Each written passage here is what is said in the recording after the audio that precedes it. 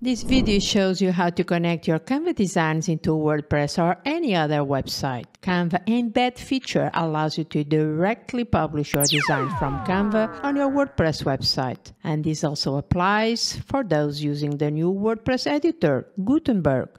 First things first, let's start by designing a form in Canva that we can later embed into our WordPress website. Here are two real life cases where we will demonstrate how to do it. And this can be done using Canva free accounts. And once you are satisfied with your design, we can export it by going to the share button in the top right corner. Then navigate to the this more option, look here for this embed option. Click to embed and now head over to your WordPress dashboard and navigate to the page where you want to embed the form using Elementor. Inside the page, you just look for HTML, copy the HTML code provided by Canva and paste it inside the HTML widget. And if for some reason you need to delete the link, you just go to the Canva design and then you just need to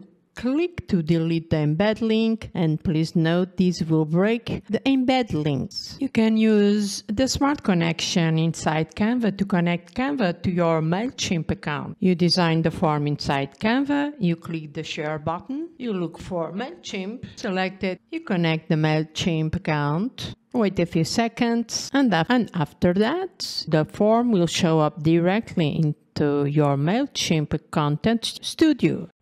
Next up, we will be embedding Google Maps in WordPress website. In this case, we will demonstrate how to embed the Google Maps feature into a WordPress website using Canva. I'm going to open a new page, you select apps, you search here for Google Maps, this one. Let's put it here. And now we will select, you select share, more. You go to your page where you want to have the Google Maps, search for HTML, paste it here. And there you have it. By following these step-by-step -step instructions, you can easily connect Canva with WordPress and design forms and embed Google Maps features. Why not check out this new video on the screen? This is my ultimate Canva video about Canva frames released last week.